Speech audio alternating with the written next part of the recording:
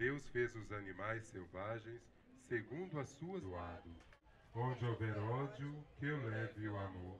Animais são salvos da Eu sou católica, eu acredito em Je suis catholique, eu je crois en la acredito protection et j'aime l'idée que Loulou soit protégée elle protegida aussi.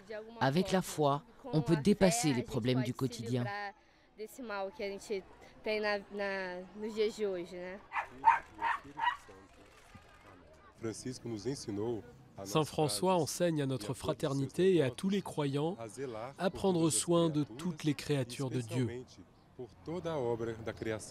Aujourd'hui, ce jour est consacré à la bénédiction des animaux, à la bénédiction de toute la nature, pour que chaque jour un peu plus, nous aimions notre Seigneur.